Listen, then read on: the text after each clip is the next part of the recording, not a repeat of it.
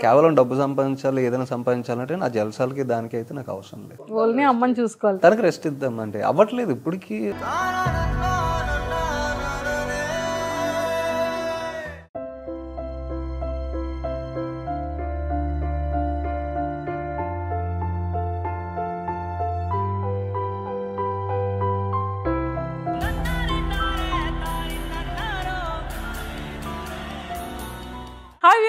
Welcome to Suman TV. So ఈ రోజు అయితే మాత్రం చాలా స్పెషల్ పర్సన్స్ అని చెప్పొచ్చు నాకైతే. కానీ ఇంకొకటి కూడా మీకు చెప్పాలి. ప్రతి ఇంట్లో పేరెంట్స్కి ఇద్దరు పిల్లలు ఉంటారు కదా? ఒక అక్క ఒక తమ్ముడు. కానీ డాడీ వచ్చే డాడీ పార్టీ వచ్చేసి కూతురు ఉంటుంది. కానీ కొడుకు మాత్రం పక్కా అమ్మ పార్టీ. ఏ విషయంలో చూడండి ఏ ఫుడ్ ఐటెంలో చూడండి అక్కకి చెప్తుంది మమ్మీ తమ్ముడు కదా కొంచెం ఎక్స్ట్రా కొంచెం పెడితే వాడు పెద్దోడు అవుతాడు వాడికి బలం వస్తుంది అని ప్రతి ఒక్క మమ్మీ ప్రతి ఒక్క తమ్ముడు గురించి చెప్తూనే ఉంటారు కదా. సో ఫస్ట్ ఆఫ్ ఆల్ అందరికీ హ్యాపీ మదర్స్ డే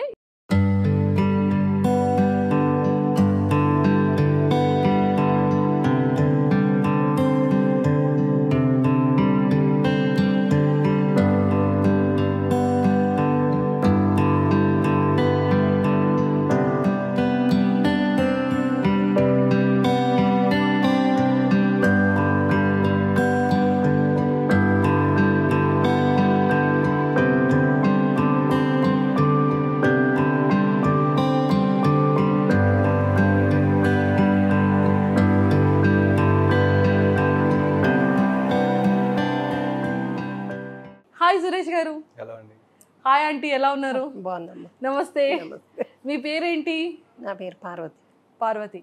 అండ్ తిని ఫస్టా సెకండా సురేష్ గారు? ఫస్ట్. ఫస్ట్ అబ్బాయి. తర్వాత అమ్మాయి. అమ్మాయి చెల్లి. ఇంకా సేమ్ మా ఇంట్లో కూడా ఇలాగే ఉండేది. మీ ఇంట్లో కూడా అంతేనా? మీరు కూడా కొడుకే. అమ్మాయి ఎంత ధైర్యంగా "ఊ, కొడుకే అని చెప్తున్నారు. అక్కడ మీ పాప చూస్తుంది తెలుసా? మా పాపకి అందరికీ తెలుసు. మా ఊర్లో అందరికీ కూడా మా అబ్బాయి ఫస్ట్ అని.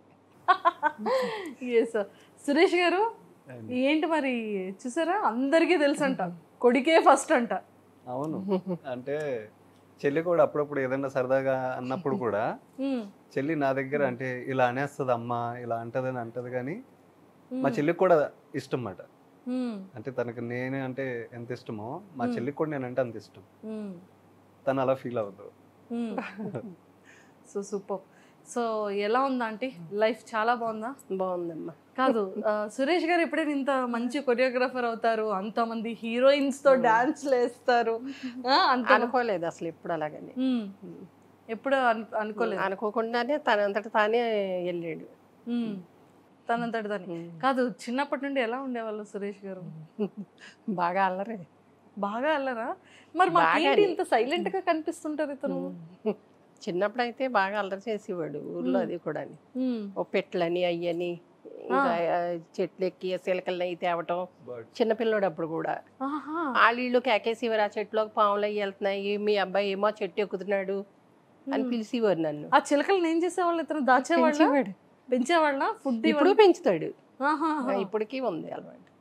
ఇప్పటికీ అలాగే చెట్లు ఎక్కుతున్నారు ఇప్పుడు కొంటున్నాడు అప్పుడు చెట్లు ఎక్కి అంటే అప్పుడు చిన్నోళ్ళు కదా. సో పాకెట్ మనీ ఉండేది కాదు. ఇప్పుడు ఏంటి పాకెట్స్ మరి సంపాదిస్తున్నారుగా?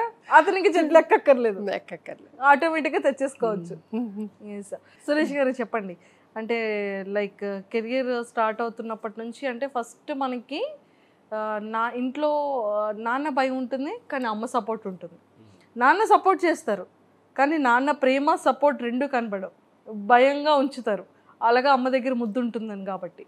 సో అంటే ప్రతి ఒక్క అబ్బాయికి లైఫ్లో అమ్మ పాత్ర చాలా ఉంటుంది. అంటే కూతురు దాంట్లో కూడా ఉంటుంది. బట్ కూతుర్ని పెళ్ళి చేసి అత్తారింటికి పంపించేస్తారు కాబట్టి కొడుకు పాత్ర మాత్రం ఎక్కువగా ఉంటుంది. సో అలాగా అమ్మ మీకు చేసే సపోర్ట్స్ కానివ్వచ్చు మీరు లోలో ఉండేటప్పుడు అమ్మ చెప్పే ధైర్యం కానివ్వచ్చు ఎలా ఉండేది? ఏంటి ఆ విషయాలన్నీ? అదే ఇప్పుడు ప్రతి ఇంట్లో అంటే మాక్సిమం ఇదే ఉంటుంది ఎక్కువ. అంటే నాన్నగారు వచ్చేటప్పటికి కోపంగా ఉంటాం ఆయన అంటే భయం అనేది అలాగా. అమ్మ దగ్గరకు వచ్చేటప్పుడు మనం ఇలాగా అంటే అక్కడ కోపం చూపించలేము అది అమ్మ దగ్గర చూపిస్తూ ఉంటాం అన్నమాట ఇలా అంటారు అలా అంటారు అలాంటివన్నీ అంటే తండ్రి అలా ఉండటమే కరెక్ట్ ఏమో తల్లి ఇలా ఉండటమే కరెక్ట్ ఏమో అని ఒక్కొక్క టైంలో అనిపిస్తూ ఉంటుంది. మీరు తండ్రి అయ్యాక. అంటే అంటే మనం ఆ రెస్పాన్సిబిలిటీస్ మనం తీసుకున్న తర్వాత. అనిపిస్తూ ఉంటది. కానీ ఒక్కొక్క విషయంలో ఏంటంటే ఏదైతే మనం మిస్ అవుతామో అది మనం ఎప్పుడైతే తండ్రి అవుతామో ఉమ్, నేను ఏదైతే మా నాన్నగారి దగ్గర మిస్ అయ్యానో అది నేను వాడికి ఇవ్వాలనుకున్నాను నేను. నాకు అలా ఫ్రెండ్లీగా లేదంటే నాకు అంటే చూసి భయపడి పారిపోయేలా కాకుండా అంటే నాన్న వస్తున్నట్టు ఎదురుగుండా వచ్చి మాట్లాడి మాది ఎలా ఉంటుంది అంటే ఊర్లో ఎక్కడన్నా ఆడుతున్నామంటే ఏరే సురేష్ మీ నాన్న వస్తున్నాడు రా అని కానీ బ్యాట్ అలా పాడేసి పరుగు మాట. ఇంకా సాయంత్రం వరకు ఇంటికి వచ్చేది ఉండదు. అమ్మో అసలు ఆయన అంటే మాత్రం చిన్నప్పుడు సీరియస్లీ నాకు వేరే లెవెల్ మాట అంటే అలా భయం ఆ- భయం వల్ల అనుకుంటా నాకు వేరేది ఏది భయం అనిపించదు. ఎంత పైనుంచి దూకమన్నా ఏది అవ్వమన్నా అసలు భయమే తెలియదు నాకు. ఆయన అంటే మాత్రం చాలా భయం. చాలా చాలా భయం మరి పారిపోయేవాడిని ఎటు ఎటు. పారిపోయేవాడిని. ఇంకా అమ్మ దగ్గర సపోర్ట్ ఉన్నా కానీ ఎంతన్నా ఆయన ఎదిరించి అయితే అమ్మ చేయలేదు కదా ఏదన్నా ఆయన ఎదిరించి చేయలేదు కాబట్టి నన్ను నచ్చ చెప్తూ ఉంటుంది అన్నమాట ఏదన్నా అలాగే ఏమని నుంచి అంటే ఎప్పుడైనా సరే నాన్న మీద కోపం వచ్చేసి. అమ్మ నాన్న ఏంటి అది ఇది అనేటప్పుడు మరి వాళ్ళ ఆయన్ని మరి వెనక్కి వేసుకొని రావాలి కదా? యా అంటే వెనకేసుకు రావడానికి నేను అమ్మ దగ్గర కూడా కంప్లైంట్ ఉండేది కాదు. ఆయన కూడా చాలా ఇష్టం బాగానే. కాకపోతే పైకి తెలియదు. నా మీద ఎక్కువ వాళ్ళ నాన్నగారికి. కాకపోతే ఎక్కువ? చాలా ఇప్పుడు. ఇప్పుడు మూవీస్ ఉంటాయి కదండి ఇప్పుడు మనం. సినిమా చూస్తున్నామంటే అందులో క్యారెక్టర్స్ ఉంటాయి ఆ క్యారెక్టర్స్ ఎవడో కలగని సృష్టించింది ఏం కాదు. రియల్ లైఫ్లో మాక్సిమం ప్రతి ఇంట్లో జరిగేవే ఉంటాయి ఆంటీ ఇప్పుడు మీరు కొన్ని సీక్రెట్స్ చెప్పాలి? ఏంటంటే ఎప్పుడైనా సరే ఇంట్లో సురేష్ గారు ఏవైనా తెలియకుండా చేసిన చిన్న చిన్న పనులు చిలిపి పనులు ఏవైనా ఉంటే అంకుల్ దగ్గర ఎలాగా చాలా జాగ్రత్తగా కాపాడేవాళ్ళు. అంకుల్కి తెలియకుండా. అండ్ మీ పాపకి అంకుల్కి కాకుండా ఎక్కువగా చాలా జాగ్రత్తగా ఇంపార్టెన్స్ ఇచ్చి తనని ఎక్కువగా చూసుకునే సిచ్యువేషన్స్ ఏవే ఉండేవి? ఈ రెండు చెప్పాలి. నేను దాపరంగా చేస్తేనే కదా. రే మీ ఊడ చెరువు ఆ, కాలువలో దూకుతున్నాడు రా పైనుంచి. వంద మంది నేను చూసేవాడు లాకులు అయ్యి ఉంటాయమ్మా. అక్కడ ఏకం తాటి చెట్టు లోతు ఉంటుంది. అక్కడికి వెళ్ళి ఉరికి స్నానాలు చేసేవారు. ఎవరో వచ్చి చెప్పారు ఇలా అక్కడ ఉరుకుతున్నాడు మీ అబ్బాయి స్నానం చేస్తున్నాడు అంటే ఈయన ఇంటికాడే ఉన్నారు ఆడు వస్తాడు అని చెప్పేసి కూర్చుని ఉన్నారు. ఆయన వెళ్ళట్లేదు ఇటు రావట్లేదు. నాకు ఇన్ఫర్మేషన్ తెలిసిపోయింది కదా. అరే మీ నాన్న తెలిసిపోయింది అంట ఇంకా నేను ఇంటికి వెళ్ళను. ఎలాగైనా ఇంకా వచ్చేదాకా ఈయన వెళ్ళరని నేను నాన్నలేరు వెళ్ళిపోయి రా అని తీసుకొచ్చాను. అలా డోర్ ఓపెన్ చేయగానే నాన్న. కానీ ఆయన ఏంటి. అక్కడ ఉరికేక మనిషి ఏదైనా అయితే ఇంక దొరకరు అసలు. మరి అలాంటి చోట అంటే ఎవరు ఒప్పుకోరు కదండి. తీసుకొచ్చి చెప్పే ఇచ్చాను. ఓ రెండు వేసారు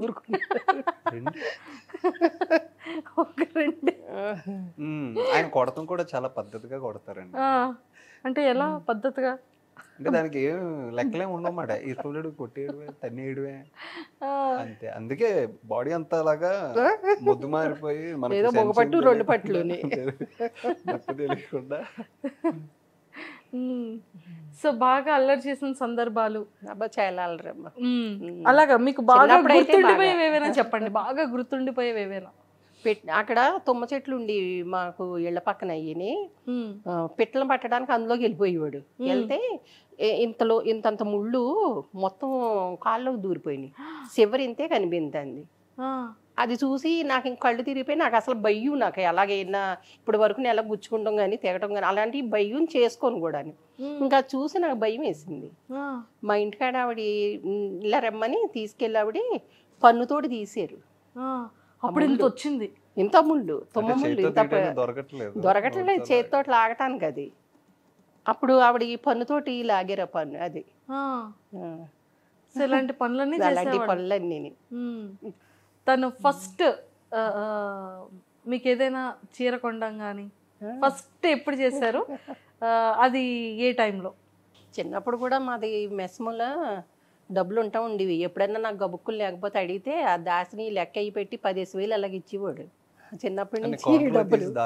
దాసివాడు ఖర్చులు అయ్యి వెళ్ళటం అయ్యి లేదు అప్పుడు ఆ పెట్టులో వేసుకుని ఎప్పుడైనా నాకు సడన్గా అర్జెంట్ అయినా వాళ్ళ నాన్నగారికి అర్జెంట్ అయినా లెక్కెడితే ఒక పదేసి వేలు అలాగ అయ్యి పట్టుకొచ్చి ఇచ్చేవాడు.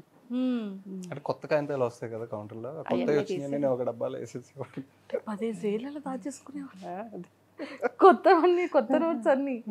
ఓకే. ఇంకా అంటే? ఆడ దగ్గర డబ్బులు అంటూ ఉంటే నాకే ఇస్తాడు. ఇప్పుడు కూడానా?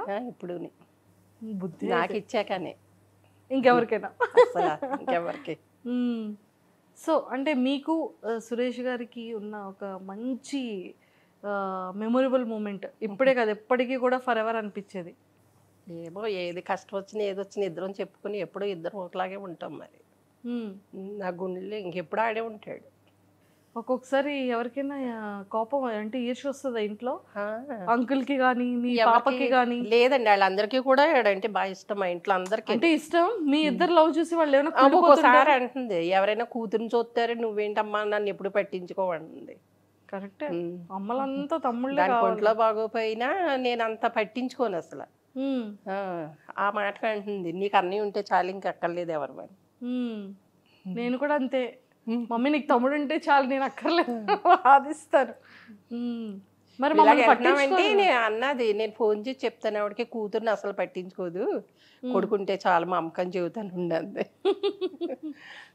తను ఫస్ట్ కొరియోగ్రాఫర్ అవుతానని ఫస్ట్ స్క్రీన్లో టీవీలో చూసేటప్పుడు కానీ షోలో మీకు ఏమనిపించేది నేను ముందు అసలు ఎప్పుడు ఇలాగ అవుతాడు ఇలాగని అనుకోలేదు. మాది ఇంక ఈ మెస్ అయ్యి కదా. ఇంక ఇలాగే ఉండేవాళ్ళం. ఒకసారి అనుకోకుండా సత్య దగ్గర ఇలాగ డ్యాన్స్కి వెళ్తున్నానమ్మా అన్నాడు. సరే అమ్మా అనుకున్నాను కానీ ఇలాగ టీవీలో అవి వస్తుంది అది నాకు తెలియదు. తర్వాత ఇలా షో వస్తుందమ్మా మాదంటే అప్పుడు చూశాను. సత్య మాస్టర్ దగ్గర dancer గా ఉన్నప్పుడు అంటే బ్యాక్గ్రౌండ్లో ఎక్కడో చేసేవాళ్ళు. ఆయన దగ్గర కూడా మా హోటల్ దగ్గర ఎవరో ఒక అబ్బాయి నేను వెళ్ళి తీసుకెళ్ళి కల్పిస్తాను. నాకు తెలుసు ఆయన అన్నారన్నమాట తీసుకువెళ్ళి కల్పించారు. మీరు షోస్ చేస్తారు కదా నాకు తెలుసు నేను ఇంట్రెస్ట్ ఇలాగా అంటే ఆయన అంటే చెయ్యాలంటే మా దగ్గర నేర్చుకోవాలి అంటే నేను అప్పటికే స్వర్ణ మేడం దగ్గర నేర్చుకుంటున్నానండి ఇలాగా. స్వర్ణ మేడం దగ్గర నేను డ్యాన్స్ నేర్చుకోవడానికి వెళ్ళినప్పుడు కూడా డ్యాన్స్ నేర్చుకుంటే ఇలా షోస్ చేయొచ్చు లేదంటే టీవీలో చేయొచ్చు అనేది కూడా లేదు. డ్యాన్స్ అంటే ఇష్టం. ఇప్పుడు నాకు అంటే మనం ఏదన్నా ఒకటి నేర్చుకున్నామంటే అంటే దీనివల్ల నాకు అదేదో చెయ్యాలి అందుకే ఇది నేర్చుకోవాలని ఉండేది కదండి. నాకు ఇదంటే ఇష్టం ఇది నేర్చుకుంటున్నాను. దీనివల్ల ఏమవుతుందని నాకు తెలియదు. ఎప్పుడో సంవత్సరం తర్వాత రెండు సంవత్సరాల తర్వాత నెల తర్వాత ఏమొస్తుందని నాకు తెలియదు. ఈ రోజు నాకు ఇదంటే ఇష్టం. అది నేర్చుకొని జాయిన్ అయ్యాను. దానికి తగ్గట్టు ఆపర్చునిటీ ఒక మాస్టర్ దగ్గర చేయడానికి అవకాశం వచ్చింది. అలాగా ఆయన దగ్గర చేయటం. అప్పుడు డాన్సర్గా చేసినప్పుడు మేము ఎక్కడెక్కడ ఉంటాం కదా. ఇప్పుడు మధ్యలో లీడ్ ఉంటారు ఎవరో ఒక ఆర్టిస్ట్ మేము డాన్సర్స్ ఇలా ఉంటాం. ఆ మూలన ఎక్కడ ఉంటాం? అప్పుడు ఆ షోస్ వస్తున్నప్పుడు టీవీలో వీళ్ళకి చెప్తే ఊర్లో ఉండేవారు కదా. వీళ్ళందరూ టీవీలో వెతుక్కునేవారు. అప్పుడు అంటే లీడ్ ఇలాగ చూపిస్తూ ఉంటారు. ఎక్కడో ఒక్కొక్కసారి మేము దగ్గరికి వచ్చినప్పుడు లాస్ట్ పోజ్ ఇస్తున్నప్పుడు దగ్గరికి వస్తాం. అప్పుడు దాకా అడుగు సురేష్ ఇడుగు ఆట వల్ల చేసినప్పుడు కూడా అలా టీవీలో వస్తుంది షో అది అని తెలియదు మాకు. ఆ, ఆ, అప్పుడు చూసి నాకు ఇద్దరు ముగ్గురు ఫోన్ చేశారు. ఇలాగా షో వస్తుంది మీ అబ్బాయి చేస్తున్నాడు అని. ఎందులో అంటే జీ తెలుగు అన్నారు. అప్పుడు చూసాను నేను. చెప్పలేదు. ఆ, లేదండి అప్పుడు ఏదో పెళ్ళది ఉండి వెళ్ళాము. తనకి రావడం కుదరలేదు రాలేదు. ఇంకా షూటింగ్లో ఉండి రావటం మానేశాడు. సో మమ్మీకి బాగా ఇష్టమైన కర్రీస్లో ఫేవరెట్ కర్రీ ఏంటి? మా దగ్గర ఏదైతే ఉందో అది తినాలి. అదే మాకు ఇష్టం మేము అలాగే బతికాం మేము. ఇంకా హోటల్లో అన్నీ ఉండి ఇంకా ఈ తింటమే కానీ బయట నుంచి తెచ్చుకు తినాలి చెయ్యాలి ఇంకా అసలు అది లేదు. అంటే ఎప్పుడైనా పోనీ కూల్ డ్రింక్ తాగుతావా? కూల్ డ్రింక్ తాగుతావా? లేదంటే పేస్ట్రీ ఏదని అస్సలు నోట్లో పెట్టుకోవద్దు. నీకు తినాలని ఎవరికైనా తినాలనిపిస్తుంది. ఆ పది రూపాయలు కూడా దాచేయాలనుకుంటుంది. మరి కొడుకుని చూసుకోవాలి కదా. అదేనండి ఇప్పుడు చూసుకోవాలి. ఇప్పుడు నిజంగా ఇప్పుడు ప్రతిదీ కారు ఉందన్నా ఏదుందన్నా ఇప్పుడు నేను చేసినప్పుడు నాకు ఎంత డబ్బులు వచ్చినా ఏది వచ్చినా పట్టుకెళ్ళి ఇచ్చేవాను కానీ దానివల్ల ఎంత కొన్నా ఏం చేసేవన్నది నాకు తెలియదు కానీ ఈరోజు ప్రతి రూపాయి తందే. ఈరోజు ప్రతిదీ ఇల్లు కానీ ఫుడ్ కానీ ప్రతి రూపాయి తందే.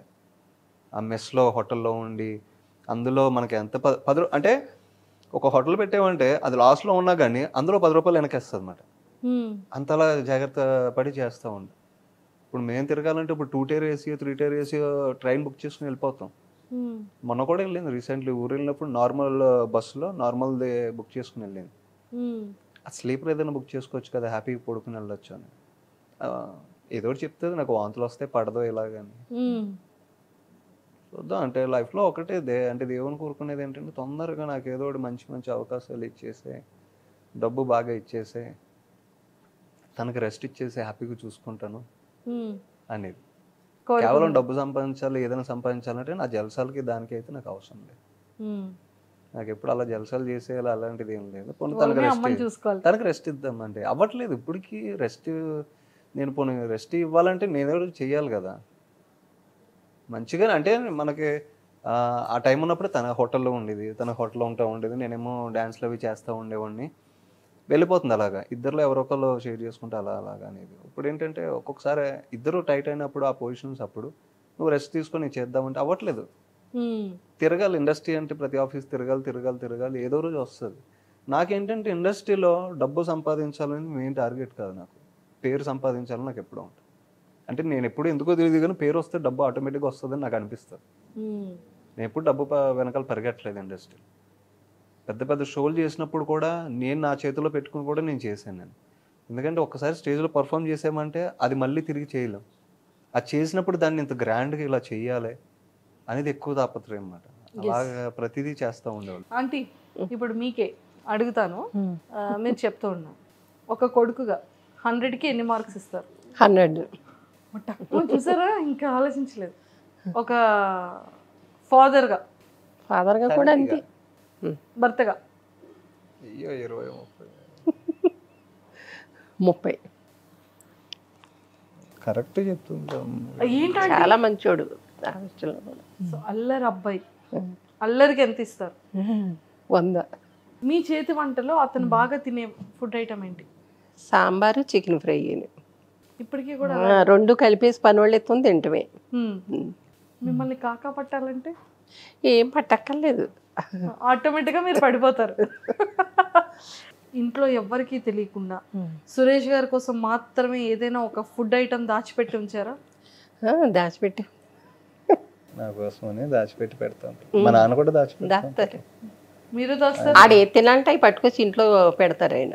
హ్మ్. నేను చూపించాను ఇక ఇక్కడ ఇవి ఉన్నాయి తినమ్మంటాను. స్టార్టింగ్ డేస్లో హార్డ్ వర్క్ చేసేటప్పుడు టైంకి ఫుడ్ తినకుండా ప్రాక్టీసులు చేసేటప్పుడు ఆ టైంలో మీకు ఏమనిపించేది ఎవరో ఒకరితో కలిపి పంపించేసేదాన్ని నేను. ఆ, వాళ్ళతోటి ఉన్న పిల్లలకి ఫ్రెండ్స్కి కూడా పంపిద్దాన్నమ్మ. ఉమ్. ఆడికే కాదు. వాళ్ళు అక్కడ చేస్తూ ఉంటారు తిన్నారో లేదో అని చెప్పేసి నేను ఇక్కడి నుంచి ఎవరినో ఒకరిని పెట్టి పంపించేదాన్ని. బాగా శ్రీనగర్ కాలనీలో హోటల్ ఉండేది చంటి మెస్ శ్రీనాథ్ కాలం చంటి మెస్ మాదేం అంటే చాలా ఫేమస్ ఉండేది బాగా అందరికి. బాగా తెలిసేది. ఇంకా హోటల్లోనే అంటే హోటల్లో ఉండేటప్పటికి ఏంటంటే మన ఫుడ్ లోటు ఉండదు. అవును. ఎంతమంది అయినా తినచ్చు. ఈ డ్యాన్స్కి వెళ్ళి వస్తే పిల్లలు తింటారని ఆడు ఆడి ఫ్రెండ్స్తో కూడా నేను అన్ని టేబుల్ మీద పెట్టి ఉంచేదాన్ని. ఆ నాలుగింటికి మూడింటికి వచ్చి శుభ్రంగా తినేసి వెళ్ళేవారు. ఇన్స్టిట్యూట్ ఓపెన్ చేసిన తర్వాత ఎలా అనిపించింది? నా కెరీర్ అప్పుడే స్టార్ట్ అయిందండి. అంటే నేను అప్పటికి ఆట చేసినా ఇది చేసినా కానీ షోస్ ఏమి తక్కువ అన్నమాట శ్రీనగర్ కాలనీలో ఉండేవాడిని నేను. ఆ పక్కన అలా వెళ్తుంటే పైన ఒక ప్లేస్ ఉంటే వెళ్ళి చూసా. ప్రాక్టీస్ కోసం అని చెప్పి వెళ్ళి అనమాట అప్పుడు దుబాయ్లో ఒక ఈవెంట్ వచ్చింది. వెళ్తే అక్కడ వాళ్ళు తీసేద్దామన్న ప్లాన్లో ఏదో ఉన్నారు. నేను అప్పుడు తీసుకున్నాను. అప్పుడే స్టార్ట్ అయింది యాక్చువల్లీ కెరియర్. షోస్ చేయడం కానీ ఆ తర్వాత చాలా బిజీగా ఉండేవాడు ఇన్స్టిట్యూట్ అంటే ఇన్స్టిట్యూట్ ఏం లేదు కదా. అప్పుడు స్టార్ట్ యాక్చువల్లీ చెప్పాలంటే అంటే నాకు ఒక నా యొక్క ఒక ఇల్లు లాంటిది. ఇంకెప్పుడు రిహార్సల్స్ ఏదో ఒకటి బాగా జరిగింది చాలా ఉండేది. ఆ లాక్డౌన్ తర్వాత తీసేసామన్నమాట. ఇన్స్టిట్యూట్ అదిని ఆ తర్వాత నుంచి కొంచెం అంత డిఫరెంట్గా ఉండే కొంచెం. లేదంటే ఏదో ఒక అంటే డ్యాన్స్ ప్రాక్టీస్ అనో లేదా టైం ఖాళీగా ఉంటే ఏదో చేయటమో లేదంటే క్లాసెస్ అనో ఇదనో ఏదో ఒకటి ఉండేది. మ్యాక్సిమం ట్రై చేసాం కానీ ఆ టైంలో దాన్ని ఉంచడానికి మళ్ళీ అది ఇది అని అవ్వలేదు. ఎప్పుడైనా అంటే ప్రతి లైఫ్లో ఒకటి మనం ఫేస్ చేస్తూ ఉంటాం. అవమానం పడ్డం అనేది చాలా స్ట్రాంగ్గా హార్ట్కి పెయిన్ వచ్చింది. అలా ఏమైనా అనిపించిందా ఎప్పుడైనా? ఇప్పుడు ఇండస్ట్రీలోకి వచ్చిన ముందు ఎప్పుడైతే బ్యాక్గ్రౌండ్ డాన్సర్ కానీ చేసేవాడినో అదేంటి? అంటే రికార్డింగ్ డాన్స్ లాగా అలాంటివి చేస్తున్నావు అని చెప్పి అనేవారు అప్పుడు. నేను అదేం పట్టించుకోలేదు. ఎందుకంటే ఊర్లలో ఎక్కువ అంటారు. భోగం మేళం అని అది అనేది ఏంటంటే చాలా డీగ్రేట్ లాగా అలాంటిది అనేది. కాకపోతే అది వేరే మనది వేరే అది ప్రొఫెషన్ నేనేం పట్టించుకోలేదు. ఆ తర్వాత మనం అందులో పేరు తెచ్చుకున్న తర్వాత వాళ్ళ పిల్లల్ని తీసుకొచ్చి నా దగ్గర ఫొటోస్ దిగారు. నేను అప్పుడు కూడా వేరేలాగా అనుకోలేదు ఇప్పుడు కూడా. అంటే ఐఎమ్ ఇన్సైడ్ ఏంటంటే ఒక హ్యాపీ ఫీలింగ్ అన్నమాట. అంటే మనం ఎంచుకుంది కరెక్టే మనం రాంగ్గా ప్రూవ్ చేయలేదని. ఆ తర్వాత అలా లైఫ్లో ఎప్పుడు ముందేం జరుగుతుందో నేను తెలియదు కదా. ఇప్పుడు అలా అలాగా వెళ్తా ఉన్నాం. అంటే ఎప్పుడు అమ్మకి బిజినెస్ ఉండి ఎప్పుడు కంటిన్యూ ఉండటం వల్ల ఏంటంటే ఏ ప్రాబ్లం వచ్చినా తను చూసుకునేది. ఆ తన బిజినెస్ ఆపటం ఆ తర్వాత ఈ లాక్డౌన్ ముందు ఇన్స్టిట్యూట్స్ అది ఆపటం కొంచెం రెగ్యులర్గా వర్క్ అది మనం చేయకపోవడం ఎందుకంటే ఇండస్ట్రీలో వర్క్ లేదు. టూ ఇయర్స్ ఇండస్ట్రీలో వర్కే లేదు. అది లేకపోతే మనకి వేరేది లేదు కదా. ఏదీ లేదు. ఎక్కడికి వెళ్తాం ఏం చేస్తాం? చాలామంది షాపింగ్ మాల్స్లో వాటిలో కూడా పని చేసుకున్నారు ఆ టైంలో బాగాలేదు అలా ఉన్నాం. అప్పుడు అందరూ మాట్లాడేవారు. అందరూ మాట్లాడేవారు. కానీ నేనేం పట్టించుకోలేదు. సో మదర్స్ డే కాబట్టి అమ్మ కోసం ఏం చెప్తారు? యాక్చువల్లీ అంటే ఈ విషయంకి వస్తే ఒకటి చెప్తాను నేను. చాలా లాంగ్ బ్యాక్ మాట ఆటలో చేసేటప్పుడు. నేను అప్పుడు అమ్మ గురించి మాట్లాడుతూ ఉండేవాడిని. చాలామంది ఏంటంటే ఓటింగ్ కోసం లేదంటే సింపతి కోసం ఏదో అనుకుంటారు. మేబీ అప్పుడు అనుకుని ఉండొచ్చు. అదే ఉంటుంది కదండి. ఇప్పుడు అనుకునే వాళ్ళు ఎలాగని అనుకుంటారు కదా ఏదన్నా. ఆ టైంలో నేను అమ్మ గురించి మాట్లాడితే ఇలాంటి ఎక్కువ చేస్తున్నప్పుడు ఆ టైంలో నేను ఒక షూట్కి వెళ్ళాను నేను. ఒక అబ్బాయి వాళ్ళ అమ్మకి అది బాగా రెస్పెక్ట్ ఇచ్చేవాడు కాదంట. చాలా రెక్లెస్గా అది ఉండేవాడంట. మా ప్రోగ్రామ్ చూసిన తర్వాత అందులో ఎప్పుడేం మాట్లాడాడో నాకు తెలియదు. అది మాట్లాడిన తర్వాత ఆ అబ్బాయి చాలా మారాడని చెప్పి అన్నాడు. వాళ్ళ అమ్మగారికి వాల్యూ ఇవ్వటం అది అన్నాడు. నిజంగా నాకు చాలా హ్యాపీ అనిపించింది అనమాట మంచి జరిగితే మంచిదే. తల్లికి వాల్యూ ఇవ్వాలండి. ఇప్పుడు పుట్టి పెరుగుతాం. వాళ్ళు ఏదైతే మనకు చేస్తారు వాళ్ళు మనకి ఏదైతే చేస్తారో ఎలాగైతే పెంచుతారో రేపొద్దున మనం పెరిగిన తర్వాత వాళ్ళు మన పిల్లలు అవుతారు. నాకు పుట్టిన వాళ్ళు నా పిల్లల కంటే ముఖ్యం వాళ్ళు నాకు పిల్లలు అవుతారు మళ్ళీ. నేను వాళ్ళని అలాగే ట్రీట్ చేయాలనుకుంటున్నాను పుట్టినప్పటి నుంచి వాళ్ళు ఎలాగైతే మనం ముడ్లు గడిగి పెంచారో రేపొద్దున అవసరమైతే వాళ్ళు ముడ్లు గడుగు కూడా మనం వాళ్ళని అలాగే చూసుకోవాలి. అంతమించి నువ్వు ఎంత సంపాదించి ఏం చేసి తల్లిదండ్రులను చూసుకోలేనప్పుడు వాడేమో మగోడు కాదు. ఎవరైనా సరే. అమ్మ కోసం ఏం చేయాలనుంది? అమ్మకి ఏం చేయాలనుంది? మ్యాక్సిమం తను బాధపడకుండా చూసుకోవాలి. వాళ్ళు బాధపడకుండా సంతోషంగా ఉన్నారంటే హ్యాపీగా బతికేస్తారు. వాళ్ళు ఒక ఏజ్ అయిపోయిన తర్వాత వాళ్ళని బాధలు బాధ పెడతా వాళ్ళు మన మీద దిగులు పెట్టుకుని బెంగ పెట్టుకున్నారంటే అక్కడే సగం చచ్చిపోయినట్టు వాళ్ళు. తనకి ఎప్పుడు బెంగ నా మీదే అండి. వీడు ఏం చేస్తాడు? ఇప్పుడు బాగానే సంపాదించింది. బాగానే సంపాదించింది అన్నీ బాగానే పెట్టింది. రేపు పొద్దున్న అంటే నా కొడుకు కోసమే నా కొడుకు కోసమే అని అనుకుంటుంది. నాకు అందులో రూపాయి అవసరం లేదు తను హ్యాపీగా చూసుకోవాలి ఫైనల్గా. ఎప్పుడు అలాగే అనుకుంటాడు నీదేం వద్దు నేను సంపాదించి నిన్ను పెంచాలంటాడు. ఆడ బాగుంటే నాకు చాలా నేను అనుకుంటాను. తల్లిని అలాగ చూస్తానంటే అది చాలమ్మా. ఆశ్రమాల్లో అవి జాయిన్ చేసి వాళ్ళు ఏడుతూ ఉంటే మనకు కూడా చూడలేకపోతున్నాం. చాలా మంది అలాగే ఉన్నారు. అలా ఉండకూడదండి. ఏ పిల్లలన్నా సరే అమ్మని చూసుకున్నా కానీ ఉండటం లేకపోవడం కాదు.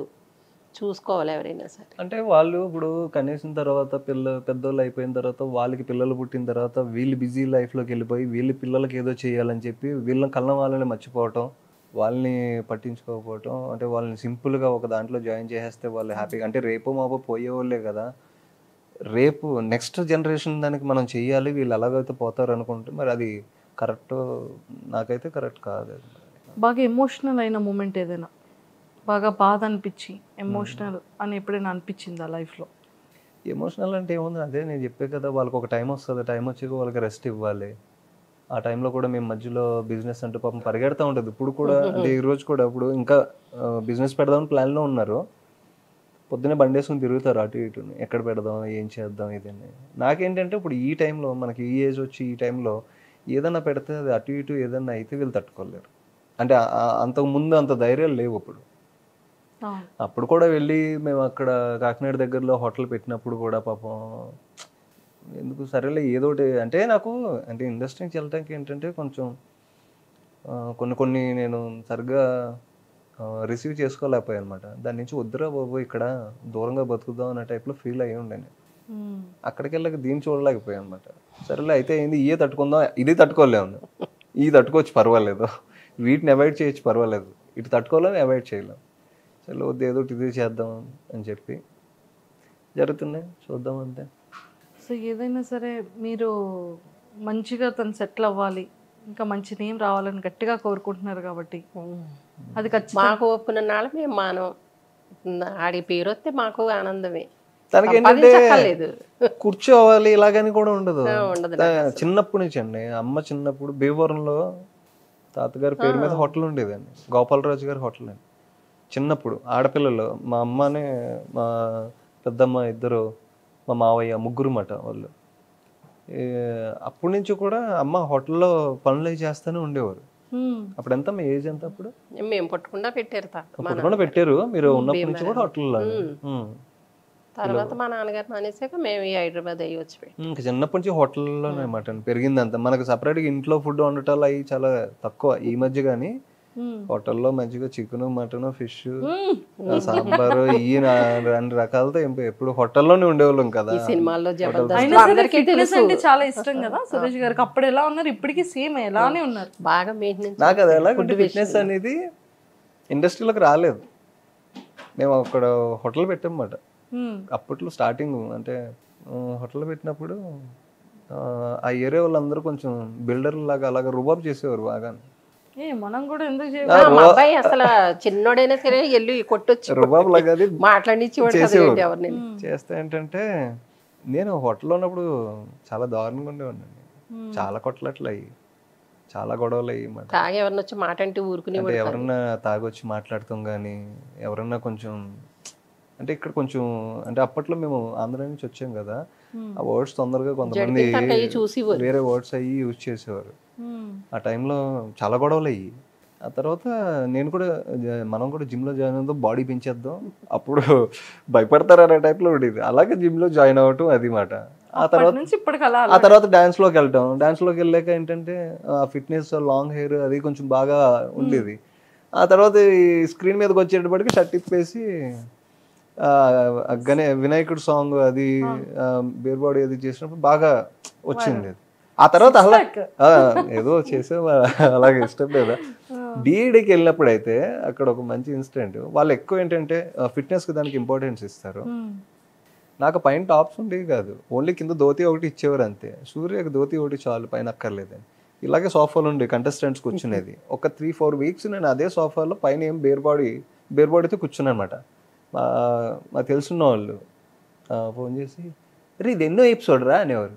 అరే ఇది న్యూ ఎపిసోడ్ లేదురా మొన్న కూడా నువ్వు షర్ట్ లేకుండా కూర్చున్నావు? అని చెప్తే వీళ్ళు నాకు షర్ట్ ఇవ్వట్లేదురా అని. ఒక్కసారి ఆ ఎపిసోడ్లో నాకు ఫుల్ సూట్ ఇచ్చారన్నమాట. ఫస్ట్ టైం సూర్యకి మొత్తం బట్టలు ఇచ్చారు అని చెప్పి వాళ్ళే ఆడేవారు చాలా కామెడీ ఉండేది. బాగుండేది ఫన్నీగా సో ఇంకా మంచిగా గ్రోత్ అవ్వాలని అమ్మ కోరిక అది తొందరలోనే తీరాలని మనస్ఫూర్తిగా కోరుకుంటున్నాను. ఇచ్చేద్దాం మమ్మీ డాడీకి రెస్ట్ ఇచ్చేద్దాం. త్వరలో రెస్ట్ ఇచ్చేద్దాం. ఈ ఎమోషనల్గా Hmm. ఇలాంటివి తొందరగా ఆ, మేము చూపించుకునే వాళ్ళం కాదు మాట అండి ఎక్కువ మ్మ్. ఇప్పుడు చిన్నప్పటి నుంచి వాళ్ళ దగ్గరే ఉండేవాడిని మ్మ్. హైదరాబాద్లో మెస్ తీసేసిన తర్వాత ఊరు వెళ్తున్నారు నేను ఎప్పటికీ తన దగ్గర చెప్పలేదు. నేను తన దగ్గర బాధపడితే తను వీక్ అయిపోతుంది. తను నా దగ్గర బాధపడితే నేను వీక్ అయిపోతాను ఎప్పుడు మేము ఇద్దరం ఈ షేర్ ఉండేది కదా ఎక్కువ. ఒకళ్ళొక బాధలు ఒకళ్ళు చెప్పుకొని ఎక్కడ అది బాధపడుతుంది? బాధపడుతుంది కంపల్సరీ. బాధ ఎందుకు పెట్టాలని చెప్పి ఉండేది కాదు. హైదరాబాద్ నుంచి వెళ్తున్నారు అప్పుడే హోటల్ తీసేసిన తర్వాత. బస్సు ఎక్కించడానికి వెళ్ళాను నేను. నేను మంచిగా బస్సు దగ్గర ఇలాగే ఇలాగే ఉన్నాను. బస్సు ఎక్కించేసాను వెళ్ళిపోతున్నారు. అంటే వీళ్ళు హైదరాబాద్ నుంచి వెళ్ళిపోతున్నారు. ఏమని చెప్పను వెళ్తున్నావు వద్దని వద్దని చెప్పలేని ఏం లేదు. సరే ఏదో చెయ్యాలి మనం ఏదో చేసి మన దగ్గర అన్నీ ఉండాలి చూసుకోవాలి అని అనుకునే అనమాట అందుకే ఎప్పుడు అంటే ఇంప్రెస్ చేయటమో లేదో వాళ్ళకి ఏదో ఇది ఇది అనేలేదు. ఎందుకంటే వాళ్ళు చిన్నప్పటి నుంచి ఎలా కష్టపడి పెంచిందో అమ్మ నాకు తెలుసు ఊర్లో నుంచి. ఫైనల్గా మనం ఏదైతే ఇస్తామో అదే. ఇప్పుడు మనం ఏదో చెప్పేయటం ఈ రోజు ఏదో మనం వాళ్ళని హక్ చేసేసుకోవటం ముద్దులు పెట్టేసుకోవటం ఏ రోజు డబ్బులు ఉన్నాయి కదా అని గిఫ్ట్ ఇచ్చేస్తాం. ఎప్పటికీ ఒక గిఫ్ట్ ఇవ్వాలి. అది ఎప్పటికీ ఉండాలి. బ్లెస్సింగ్ అనేది మనకి ఎప్పుడు కావాలి కదా? బ్లెస్సింగ్ ఎప్పుడు కావాలని తీసుకుందామండి. రండి బ్లెస్సింగ్ ఆంటీ కాలు అందులో పెట్టండి.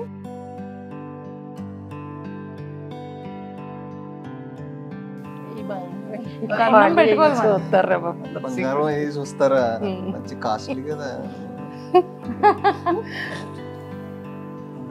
అంటే ఏం దీవిస్తున్నారో చెప్పాలి మీరు. ఏంది ఎప్పుడు దీవింతనే ఉంటాను. కదా ఈ రోజు ఎక్స్పెషల్లీ మా షోలో మీరు మీరు చెప్పినవి అన్ని కరెక్ట్ అయ్యి ఆడికి మంచి లైఫ్ వచ్చేస్తే ఫస్ట్ మీకు నేను స్వీట్ పెట్టుకొచ్చి పెడతాను మా ఊరు పోచోట్ల పెట్టుకొచ్చి పెడతాను.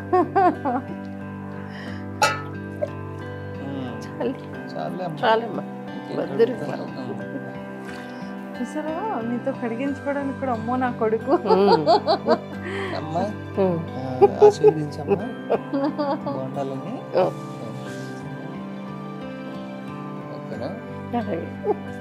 హ్యాపీ మదర్స్ డే మీకు కూడా. Thank you happy. So happy mother's day so ఈ సందర్భంగా అనుకున్న కోరికలన్నీ ఆంటీ అనుకున్న కోరికలన్నీ మీ విషయంలో నెరవేరాలని మనస్ఫూర్తిగా మిమ్మల్ని అభిమానించే మీ అభిమానులు అందరి తరపు నుంచి అండ్ మా సుమన్ టీవీ వ్యూయర్స్ అందరి తరపు నుంచి all the very best. Thank you so much very soon ఒక మంచి గుడ్ న్యూస్తో మళ్ళీ మాకు కాల్ చేస్తారని మనస్ఫూర్తిగా కోరుకుంటున్నాను థ్యాంక్ యూ సో మచ్ అండి అండ్ సుమన్ టీవీ ప్రేక్షకులందరికీ హ్యాపీ మదర్స్ డే అండి అమ్మని గౌరవించండి. Thank you so much